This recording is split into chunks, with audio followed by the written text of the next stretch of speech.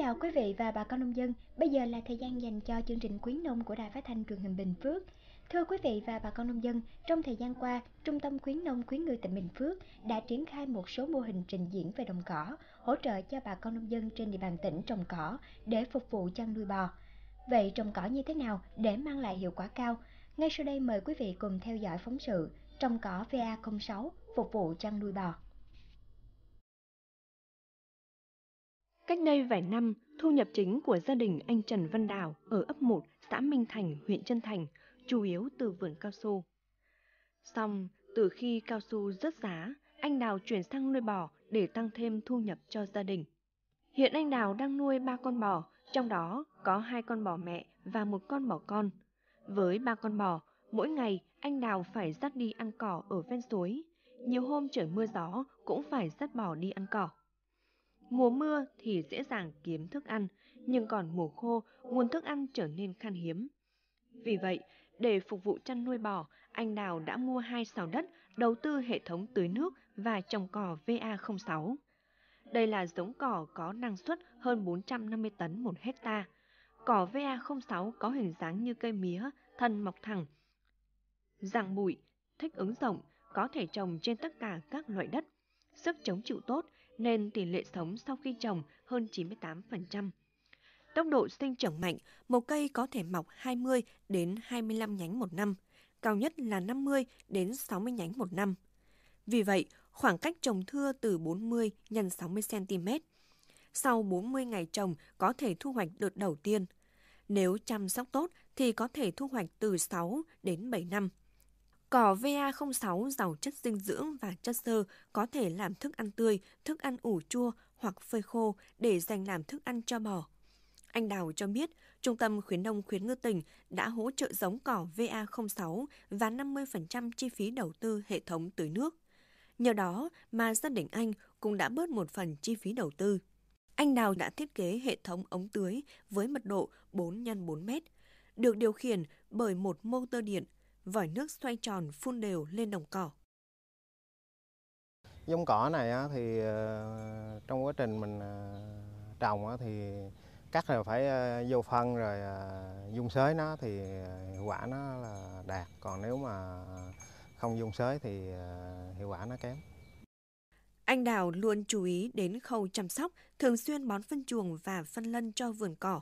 Sau mỗi lần cắt, anh còn bón thêm mỗi gốc 10 gam phân ure, lượng nước tưới cũng nhiều hơn. Nhờ chăm sóc tốt nên vườn cỏ xanh tốt quanh năm.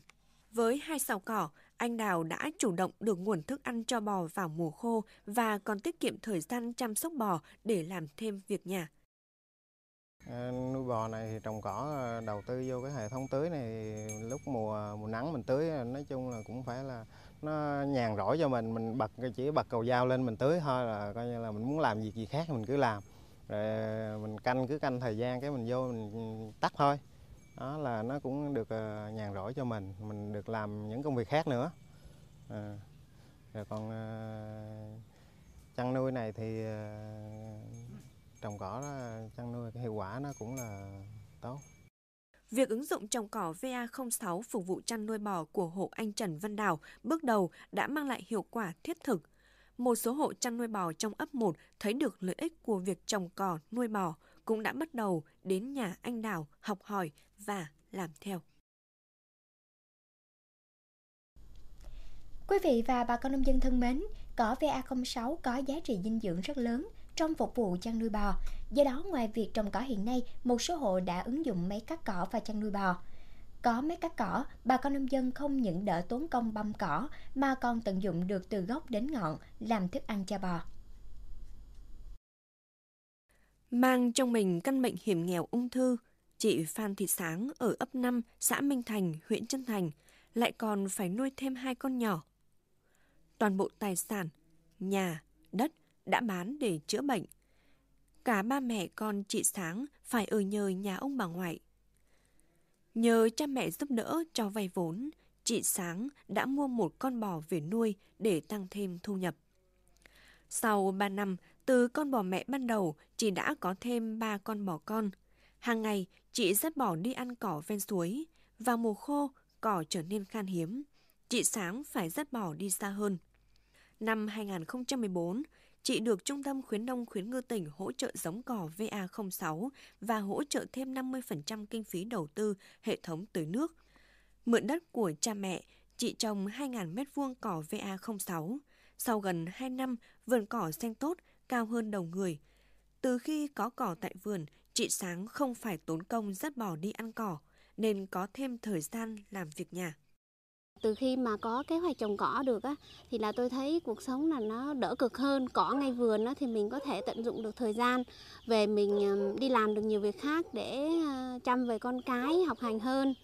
Mà khi mà tôi đã trồng được cỏ rồi á, thì ờ, cái nguồn cỏ này á, buộc là con bò nó ăn thì buộc phải xay nhỏ hoặc là chặt chặt ngắn nó mới ăn được thế nên buộc tôi phải là đầu tư thêm cái máy xay cỏ mà khi mà đã xay cỏ được rồi thì tôi thấy là tiết kiệm được thời gian mà rảnh rỗi cho mình được nhiều hơn nữa Dành dụng được một ít tiền, chị Sáng mua một máy cắt cỏ với giá 3,5 triệu đồng.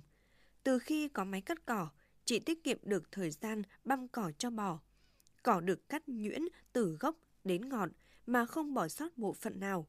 Sau hơn một năm trồng cỏ nuôi bò, kinh tế của gia đình chị chưa thể gọi là giàu, nhưng cũng đã khá hơn lúc trước. Bây giờ, bốn con bò được xem là tài sản để dành của chị. Chị Sáng dự định sang năm sẽ mượn thêm đất của cha mẹ, trồng thêm cỏ, mở rộng chăn nuôi. Mỗi ngày, công việc cắt cỏ cho bò ăn và chăm sóc con cái đã giúp chị có thêm động lực vượt qua bệnh tật. Kinh tế của những ờ, hộ coi như là nuôi bò đó là đã thấy một à, ngày một thấy à, đổi thay. Bên à, nông dân chúng tôi cũng mong muốn cho bên mong muốn coi như các ngành bên lâm nghiệp của tỉnh là cố gắng hỗ trợ cho coi như là những hộ dân ở trong xã là trồng thêm nhiều cỏ hơn nữa để coi như là cho uh, phát triển kinh tế ngày càng uh, giàu mạnh hơn. Chị Phan Thị Sáng là hộ thứ hai ở xã Minh Thành được thụ hưởng nguồn vốn từ dự án trồng cỏ nuôi bò. Tuy mô hình này chưa được nhân rộng, nhưng rất nhiều hộ đã đến tham quan vườn cỏ của chị Sáng. Họ tự bỏ vốn đầu tư trồng cỏ để phục vụ chăn nuôi gia súc gia cầm. Cũng từ đây, kinh tế của một số hộ đã bắt đầu khá lên nhờ chăn nuôi bò. Thưa quý vị và bà con nông dân, nuôi bò là một trong những mô hình chăn nuôi không tốn nhiều công chăm sóc nhưng lại mang lại hiệu quả kinh tế cao. Tùy vào từng thời điểm, một con bò trưởng thành có thể bán từ 20 đến 30 triệu đồng. Ngoài ra, những hộ gia đình biết áp dụng kỹ thuật gieo tinh nhân tạo, chọn giống tốt để phối giống, thì con bê lai ra đời luôn có sức khỏe tốt và tăng trưởng nhanh.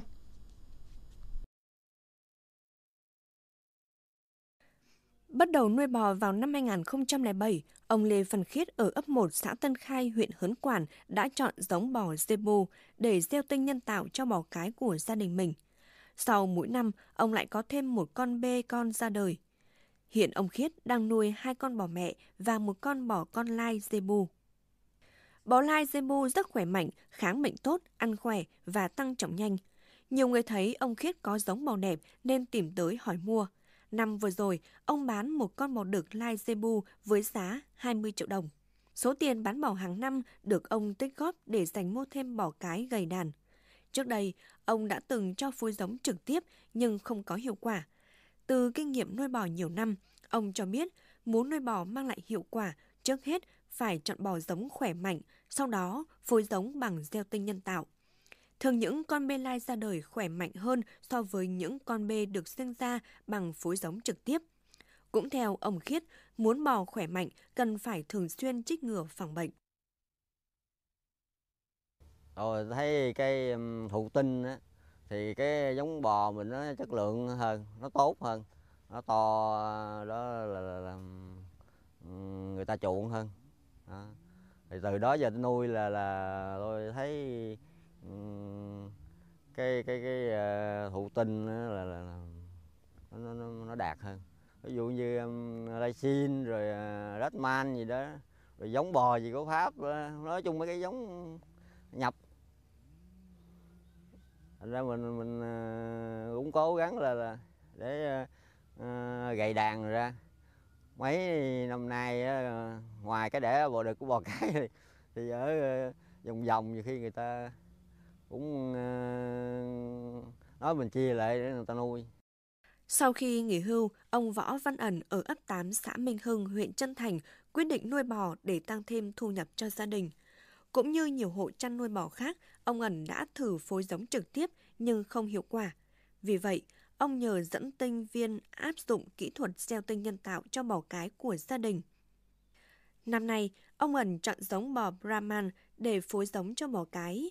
Đây là giống bò có nguồn gốc từ Ấn Độ, thể hình chắc, khỏe mạnh, cơ bắp phát triển. Khi phối giống với bò vàng sẽ cho sinh sản ra con bên lai khỏe mạnh, kháng bệnh tốt. Mỗi năm, ông có thêm hai con bên lai bằng kỹ thuật gieo tinh nhân tạo. Ngoài việc giữ lại gầy đàn, ông còn bán bò giống cho các hộ lân cận. Ông Ẩn cho biết giống bò lai Brahman rất được nhiều người tìm mua. Bởi vì à, uh, thụ tinh nhân tạo đó thì nó tiện nó rất là tiện. Như mình có khả năng mình chọn được cái uh, giống. À, Ví dụ như mình có thể mình chọn uh, Darkman hay là là, là, là xin hoặc là Lysin gì đó mà mình uh, phối cho con uh, con giống của mình.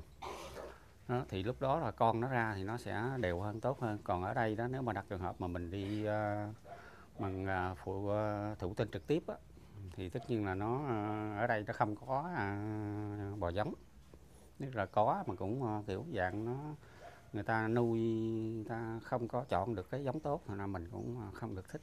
Con bò thụ tinh đó thì nó ờ, sinh ra có khi nó, nó lớn con hơn cái bò nhảy trực tiếp. Vì những năm trước đó thì tôi cũng đã từng cho nhảy trực tiếp thử rồi nhưng mà thấy nó không có kết quả. Thành ra chuyển sang là cái tinh nhân tạo hết.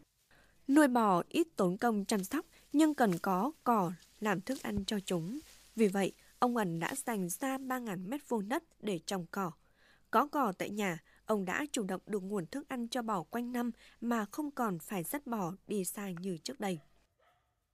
Trồng cỏ đó bởi vì ở nhà nó chung không có ai chăn thả, thành ra cứ uh, trồng cỏ này đó thì mình cứ uh, bữa nào cũng cắt cho nó bò ăn vậy thôi chứ không có chăn thả ở đâu. Đó, chỉ có nuôi trực tiếp ở đây thôi, chủ động được nguồn thức ăn cho cho bò. Đấy, thí dụ như bây giờ nếu mà gạt mà trời mưa quá không đi đâu được đó thì vẫn có cỏ sẵn đó cho bò ăn. Hiện trên địa bàn huyện Hướng Quản và Trân Thành có rất nhiều hộ nuôi bò, khoảng 70% hộ chăn nuôi áp dụng kỹ thuật gieo tinh nhân tạo cho bò. Theo đánh giá, bò gieo tinh nhân tạo sinh sản tốt hơn những con bò phối giống trực tiếp. Nhờ chăn nuôi bò lai mà kinh tế nhiều hộ gia đình ngày càng phát triển, không ít hộ vươn lên thoát nghèo. Qua công tác đi ờ, dẫn sinh viên ờ, cho, cho cho tỉnh với ờ, địa bàn huyện Hớn Quảng thì tôi thấy là khi mà phối ra thì con bò nó rất là lớn, kinh tế cao. Với dân thì họ rất là là thích tại vì đỡ tốn cái thời gian họ phải dắt con bò đi đi nhảy đó tốn thời gian với nhiều khi nó không chịu đi nó bướng rồi nó trong khi nó đòi nọc quá nhiều khi nó nhảy ờ, người dân nữa. Thì đâm cho nhiều người cũng có thể bị ờ, ờ, bị té hay là bị chật tay chật chân. Mình phối này thì mình chủ động. Với thứ hai mình tiết kiệm được thời gian. Thứ ba nữa là con giống đẻ ra rất là tốt. Nếu như mà so với kết quả của cái bò đực giống trực tiếp ấy, thì kết quả của cái bê này là nó có cái tầm vóc lớn hơn. Đó, ví dụ như con bê nhỏ sau khi sinh nó cũng thể là 20 tới 25 kg nhưng mà con bê kia thì nó chỉ có 18 đến 20 kg hai nữa là sau 10 tháng nuôi. Sau 10 tháng nuôi thì con à, con con con con bê của cái chương trình dự án thì có thể là hơn hai tạ. À, những con kia thì chỉ cần tạ 8 hoặc tạ 6 thì như vậy là chúng ta có thể thấy là sau một năm thì góc độ là tầm vóc ừ, sinh trưởng của cái bê thụ tinh có thể là lớn hơn cái bê kia là 50 đến 70 kg. Ờ, thì thì chúng ta có thể thấy rằng ấy, cái mức độ như vậy để đánh giá được cái hiệu quả kinh tế trong cái việc phối tinh nhân tạo bò. Nhằm cải tạo giống bò vàng từ năm 2011-2015, Trung tâm khuyến nông khuyến ngư tỉnh Bình Phước đã tổ chức nhiều mô hình trình diễn đồng cỏ với hệ thống tưới nước và gieo tinh nhân tạo cho gần 10.000 con bò cái trên địa bàn tỉnh. Kết quả gieo tinh nhân tạo là hàng ngàn con bê lai ra đời, sinh trường, phát triển tốt, mang lại hiệu quả kinh tế trong chăn nuôi. Chương trình khuyến nông đến đây xin tạm dừng. Cảm ơn sự quan tâm theo dõi của quý vị và bà con nông dân. Mọi thông tin phản hồi, đóng góp ý kiến, quý vị và bà con nông dân gửi về theo địa chỉ chương trình khuyến nông, phòng chuyên mục chuyên đề, đài phát thanh truyền hình Bình Phước, điện thoại 06513 887 058. Chương trình khuyến nông được phát sóng vào lúc 18 giờ thứ hai của tuần thứ hai và tuần thứ tư hàng tháng trên kênh BBTV1, phát lại vào lúc 11 giờ thứ tư cùng tuần phát chính. Chương trình do Đài Phát thanh Truyền hình Bình Phước phối hợp cùng Trung tâm Khuyến nông Khuyến ngư tỉnh thực hiện. Xin chào và hẹn gặp lại quý vị và bà con nông dân trong chương trình kỳ sau.